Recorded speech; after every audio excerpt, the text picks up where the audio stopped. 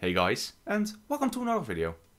In this video I want to show you how to build a passive power generation using Immersive Engineering's thermoelectric generators and a bit of uh, thermal dynamics and thermal expansion. So this is a tileable design that I am using in another series that I'm currently playing with. Um, and so far it has worked out pretty well for me, as this does not require any maintenance whatsoever and it generates a lot of power if you have it set up properly. So let's get started. Okay, so for this stackable design I went with three major steps. First of all the flooring, then the main design for the stackable power generation itself, and then the final construction um, having a lot of stacks of the same power generation set up. So let's start right here. So as you can see, this is the main floor. Uh, right here, I, uh, you can pretty much use any material that you want, but I chose uh, stone for the sake of ease. And then I designated uh, a couple of holes to hold redstone energy flux ducts.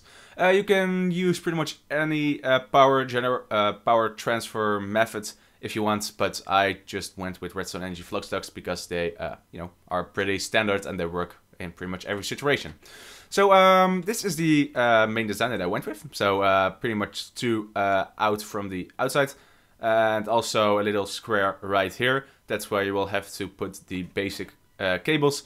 Uh, pretty much because for the sake of this looking a lot better, I will be running a bit more cabling underground right here. Uh, just hook this everything up, otherwise you'll have to do it on the top of that design and that won't look that good.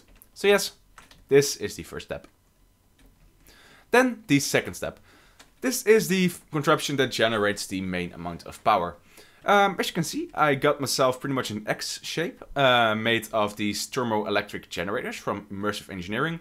And then a bit more redstone energy flux ducts uh, extended from the points where I put them in the ground. So as you can see again, the same uh, pattern as right there, but just one layer up. Then as you can see, uh, like I said, the X shape from these thermoelectric generators, pretty much meaning that they have one side uh, open on all cases pretty much. And then on the inside of each four thermoelectric generators, I put myself a block of lava. The combination of uh, lava on one side and water on the other side generates a passive for, uh, 15 RF per tick. Uh, but if you want to go with something like um, blazing pyro pyrotheum or whatever instead of lava. I believe it will generate 30 RF per tick, so that's double that amount. Uh, but do keep in mind you have to use actual source blocks. Uh, so you can't just like stack this up 10 high and only put lava in the top one uh, and let it flow down. That won't work sadly, uh, so you will require uh, quite a lot of source blocks for this. So like I said, uh, you will have to have water uh, exactly on the opposite side of where the lava is. So that would mean uh, for this piece of lava, it would uh, check if the piece that I'm currently standing on is water. And uh, again, right here, right there, and yeah, all that kind of cool stuff.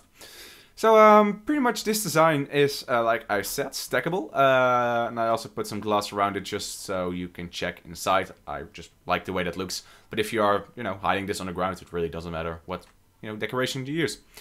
So um, then the final design, uh, pretty much I stacked this up to be a 11 by 11 by 11 cube. Uh, the main design is 11 by 11, so uh, yeah, pretty cool. Uh, just to show you how much this can generate with only uh, lava. Um, I believe this will require you to have 200 uh, thermoelectric generators. So if you want to do this, be sure to have a very nice supply of resources, because these things are not cheap, as they require, I believe it's a bunch of copper, yeah, a bunch of copper and grit, and also some other stuff like uh, refined iron, steel, or whatever, and also more copper in this thing. So definitely something you want to keep in mind. But for the basic design that I got right now, I am generating almost 3000 RF per tick uh, just with this setup. And if I would replace all the lava with blazing pyrotheum, I would generate 6000 RF per tick. Take that, big reactors.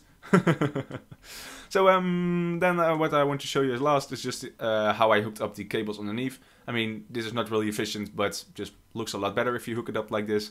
And then I got it set up right here to a resonant energy cell connecting all the power, a uh, screen controller from RF Tools, and a RF Tools screen so I can monitor the amount of redstone flux that's being inputted. But of course, you won't really need this if you, you know, can hook up any other system to this. So that is pretty cool. So um, I guess that's it for this video, guys. I definitely hope you guys enjoyed. Uh, if you have any questions, feel free to let me know down in the comment section below, like always, or send me a personal message. I will respond to that pretty much all the time, if possible. So like always, uh, be sure to check out my website uh, for to stay up to date with any other cool stuff. And I hope to see you guys all next time. Take care, folks.